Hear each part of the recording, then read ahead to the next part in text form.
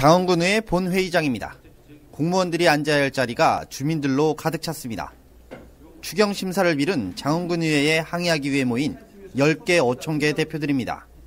실제 지금 어촌계에서 단체에서 지금 항의만 보냈는데 의원님 혼자 계시는데 지금 여기 지금 뭐 좀좀더그 불편한 어떤 그런 여론은 어, 그 마음은 일단 의장 모시면은 그렇게 한 번에 해주시기 바랍니다.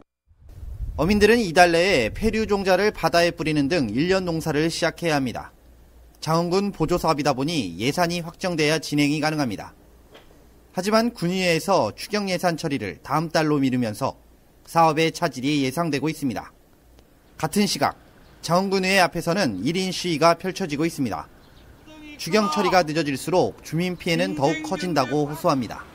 장군 3만 8천 명의 말을 따르지 않은 일꾼은 주민소환제로 군의회에서 쫓아내야 한다.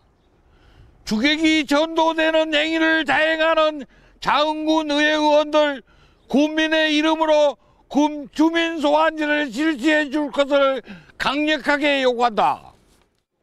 주민들은 또 민주당 소속 의원이 대다수인 군의회가 무소속 군수 길들이기를 하고 있다며 비난의 목소리를 높이고 있습니다.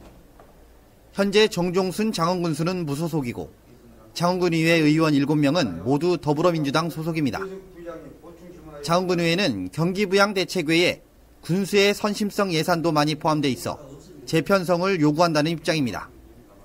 선심성 예산 또 그 눈에 보이지 않는 그 뭐 누구 개인 특정을 봐주기 예산 이런 걸 하지 말고 민생 경기에 직접 밀접한 예산을 좀 짰으면 좋겠다.